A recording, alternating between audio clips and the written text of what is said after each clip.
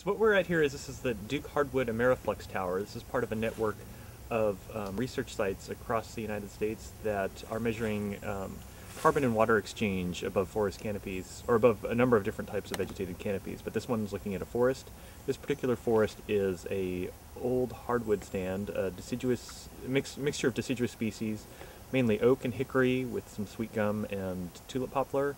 Um, it's probably about 80 to 100 years old, um, the stand of trees, and um, we're trying to measure a couple of different things here. We're looking at um, fluxes of carbon dioxide, um, starting from the forest floor up through the tree trunks and out to the leaves. We're also looking at the water, water inputs, including the precipitation that comes in, um, and then water evaporation that leaves, uh, again, through the forest floor and is uh, transpired through trees.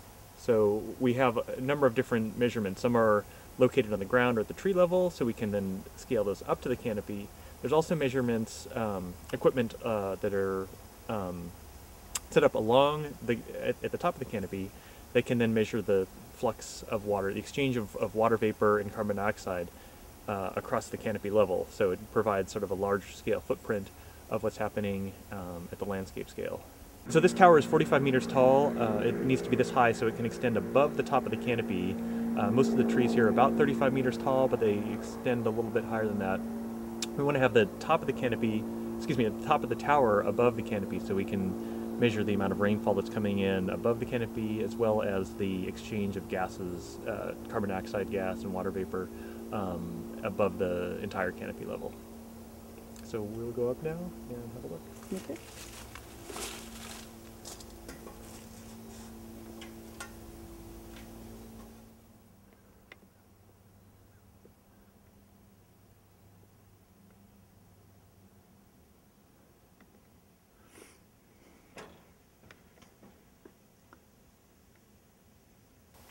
So we're up near the top of the uh, Duke Ameriflux Tower here. Um, you can see Blackwood Mountain off in the distance there.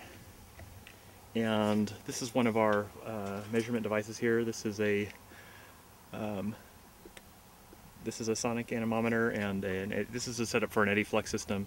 What this can do is measure wind speed and direction um, at very high resolution, very fine scale, um, as well as there's a temperature measurement thermocouple down there.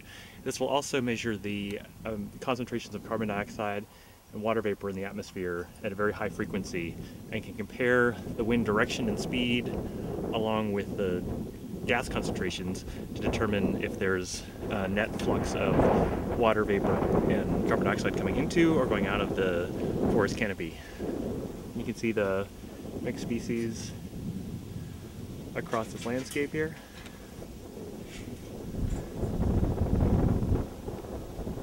Look up in the distance, you can see Chapel Hill. And I'm going to zoom in because we can actually see one of the FACE rings off in the distance there. You can see the towers that supply carbon dioxide throughout the canopy of a loblolly pine forest. Looks a little bit like Stonehenge, um, but it provides concentration